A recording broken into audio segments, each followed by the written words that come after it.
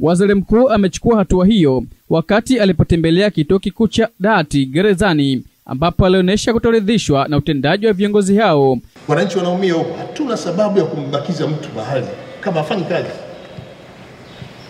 Ndio kwa sababu mkurugenzi mkuu yeye yuko ofisi ya nchi, ofisi ya rais, huyo namwachia mheshimiwa rais, sasa ndio mamlaka yake. Lakini mkurugenzi wa fedha huyo leo leo tu kae pembeni, mkurugenzi wa fedha tamwagiza waziri huyo chagua mkurugenzi mwingine wa fedha. Ameshindwa kumsaidia kumshauri mkurugenzi mkuu namna ya kwenda kichumi. Ameleta mfumo mfumo wa kielektroniki, hakuna ukaguzi tena. Inawezekana yeye mwenyewe ndio anashiriki kusukuma pale, alafu anakabidhi maboksi ya tiketi yaende vituoni. Huo utaratibu wa?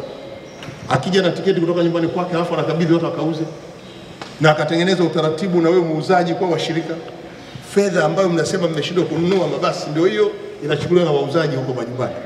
Katika ziara hiyo, waziri mkuu ametembelea karakana ya UDA ya Kurasini, Dar es Salaam na kushuhudia baadhi ya mabasi ya wakala huyo yakiwa mabovu. Fedha wa Tanzania hii nyie mnaiacha kwa hapa dhamana hapa, alafu mnahangaika nalo hili, yaani mmeliacha hili hata kusafisha. Kama liliingia matope, kwa nini siku ile usipeleka watu wakasafisha matope? Mmeacha na matope yake mpaka leo, alafu ananiambia gearbox tu ndio imeharibika na unaleta gearbox hivyo. Mkileta gearbox itafanya kazi hili ili bati mmetoa wapi? Hebu twende huko kwenye mabasi ya Ni gearbox au ni engine? Wewe umeniambia matatizo ya magari haya ni gearbox na umeagiza gearbox na kuuliza hili ni gearbox na kwamba ukiweka hapa gearbox ndio litafanya kazi. Bado kuna mmeshindwa kusimamia shirika hili, shirika mnaliua hili.